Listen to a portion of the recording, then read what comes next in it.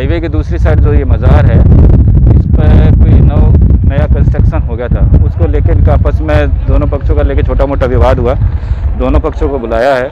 दोनों पक्षों ने बड़ी समझदारी दिखाई है और दोनों पक्षों के बीच में वार्ता की जा रही है और जल्दी ही एक मतलब सौहार्दपूर्ण माहौल के अंदर सही निर्णय आ जाएगा और सही रास्ता निकल जाएगा। पहले से ज़मीन का कोई विवाद था? होली का दहन नहीं हो रहा था कुछ विवाद था? हाँ पहले काफ़ी पहले 97 के अंदर इस ज़मीन को लेकर कोई विवाद नहीं है जिस पर ये मज़ार है। उसके सामने की साइड में जो एक जाफ़र को ज़मीन है जो दूसरी साइड में उस पर लेकर होली को जलाने को लेकर पहले काफ़ी समय पहले नाइन्टी सेवन में कोई विवाद हुआ था। नहीं तो ये जो अभी जो निर्माण हुआ उसको क्या तोड़वाया जा रहा है?